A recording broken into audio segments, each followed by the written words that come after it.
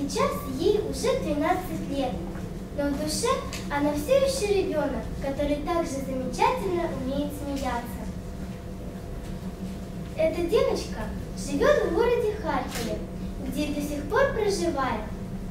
Ее родители дали три радость, тепло, заботу, любовь и очень много счастья. Также ее друзья, коллеги. Увлекается эта девочка рисованием, своеобразными танцами, тележурналистикой и мечтает стать этой же журналисткой. Вот такая вот замечательная девочка живет в городе Харькове и зовут ее Алина.